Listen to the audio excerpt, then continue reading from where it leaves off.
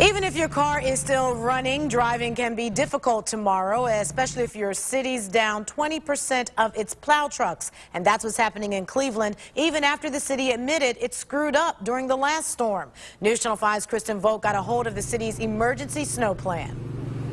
Dina, I have it right here, and this plan tells me where the snowplows are supposed to be for various snow amounts two, four, eight inches. But with 15 plows out of service, the question is whether this plan can adequately be followed.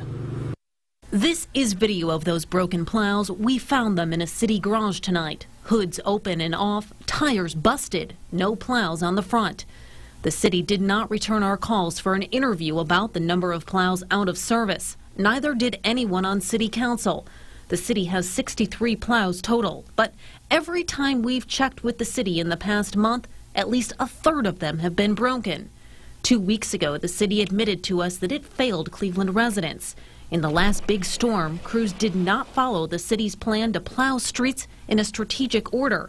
Instead, crews plowed streets according to complaint calls. Plus, the city did not have a full fleet of working plows. Council members say they are fed up with the street conditions this season and have been inundated with angry calls about it.